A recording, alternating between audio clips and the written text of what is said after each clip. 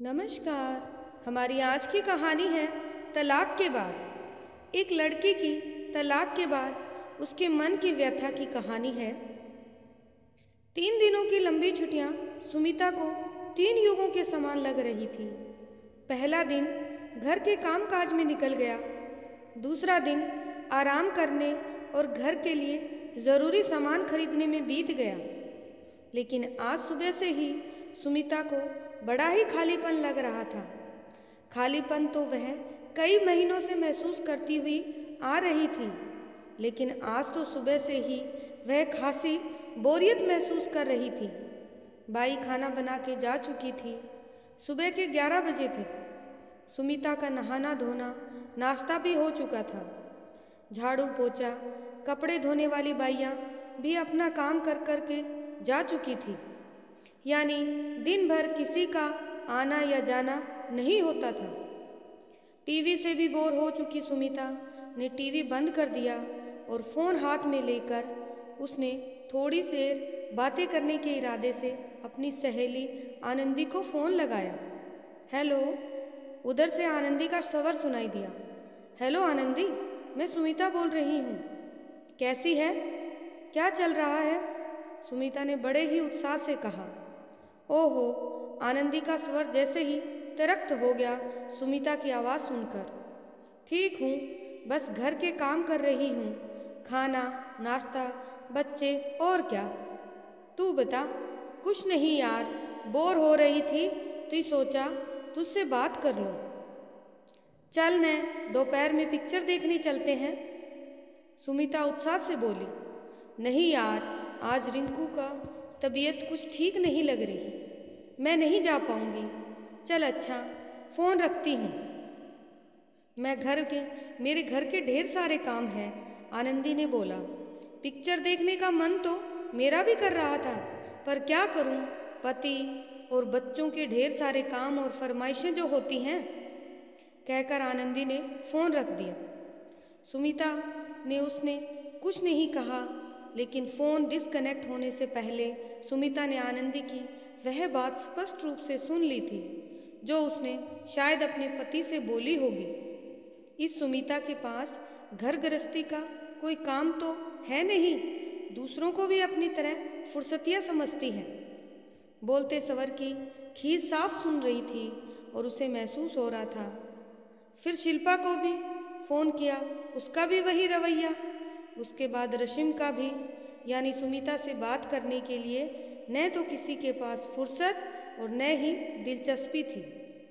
सब सब की सब आजकल उसे काटने में लगी हैं, जबकि ये तीनों कभी किसी ज़माने में उसकी सबसे करीब सहेलियाँ हुआ करती थी। एक गहरी सांस भरकर सुमिता ने फ़ोन टेबल पर रख दिया और अब किसी और को फ़ोन करने की उसकी इच्छा ही नहीं रही। वह उठकर गैलरी में आ गई नीचे लोन में बच्चे उस बिल्डिंग से खेलते हुए दिखाई दे रहे थे। न जाने क्यों उसके मन में एक हुक सी उठी और आँखें भर आई। किसी के शब्द उसके कानों में गूंजने लगे थे। तुम भी अपनी माता पिता की इकतो इकतौली संतान हो, सुमिता और मैं भी। हम दोनों ही अकेलेपन का दर्द समझते हैं, इसलिए मैंने तय किया है कि हमारे ढेर सारे बच्चे पैदा करेंगे, ताकि हमारे बच्चों को भी किसी प्रकार का कोई अकेलापन महसूस न हो। समीर हँसते हुए अक्सर सुमिता को छेड़ता रहता था।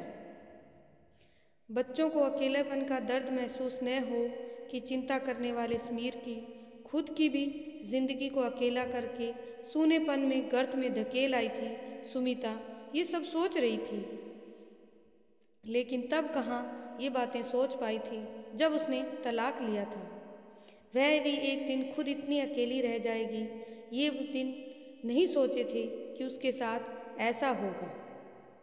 कितना गिड़गिड़ाया था समीर, आखिर तक कितनी विनती की थी। उसने, प्लीज़ सुमिता, मुझे इतनी बड़ा सज़ा मत दो। मैं मानता हूँ मुझसे गलतियाँ हो गई हैं, लेकिन मुझे एक मौका दे दो। एक आखिरी मौका मैं पूरी कोशिश करूँगा कि अपना रिश्ता बच जाए। तुम्हें अब किसी प्रकार की कोई शिकायत नहीं मिलेगी। समीर बराबर अपनी गलतियों की माफ़ी मांग रहा था। उन गलतियों की जो वास्तव में गलतियाँ थी ही नहीं।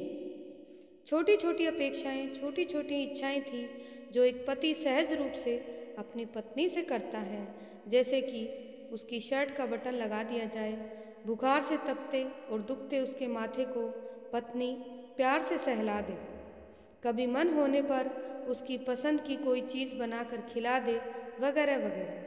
लेकिन समीर की इन छोटी छोटी अपेक्षाओं पर सुमिता बुरी तरह भड़क जाती थी। उसे इन्हें पूरा करना गुलामी जैसा लगता था। नारी शक्ति, नारी स्वतंत्रता, आर्थिक स्वतंत्रता, इन शब्दों ने तब तक उसका दिमाग खराब कर रखा था।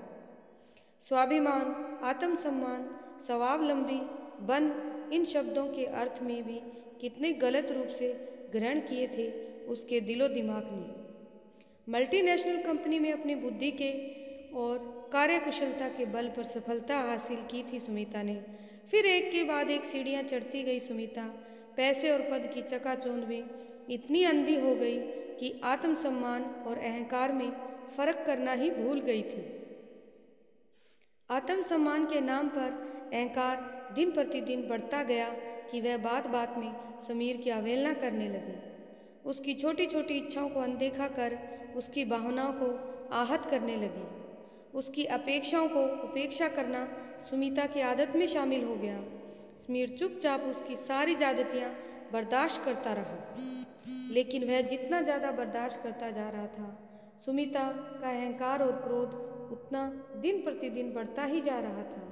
सुमिता के भड़काने में उसकी सहेलियों का सबसे बड़ा हाथ रहा। वे सुमिता की बातों या यूँ कहिए कि उसकी तक, तकलीफ़ों को बड़े ही गौर से सुनती और समीर को भला बुरा कहकर सुमिता से सहानुभूति दर्शाती थी। इन्हीं सहेलियों ने उसे समीर से तलाक लेने के लिए उकसाया था। तब ये सहेलियाँ सुमिता को अपनी सबसे बड़ी शुभचिंतक लगने लगी थी। ये सब दौड़ दौड़ कर सुमिता के दुखड़े सुनने चली आती और उसके कान भरती थी। तू क्यों उसके काम करे? तू क्या उसकी नौकरानी या खरीदी हुई गुलाम है? तू साफ़ मना कर दिया कर। तो ये उसकी सहेलियाँ, उसकी गृहस्थी बिगाड़ रही थी। और आज सुमिता को अपनी गलती पर पश्चाताप हो रहा था कि वो आज कितनी अकेली हो गई है तलाक लेने के बाद। तो दोस्तों, ये कहानी थी दीप्ति चौकसी द्वारा लिखी हुई एक लड़की की तलाक के बाद मन की व्यथा। आशा करती हूँ आपको ये कहानी पसंद आई होगी, अच्छी लगी होगी तो कमेंट में अपनी राय दीजिए, चैनल को सब्सक्राइब कीजिए। पूरी कहानी सुनने के लिए आपका बहुत बहुत धन्यवाद।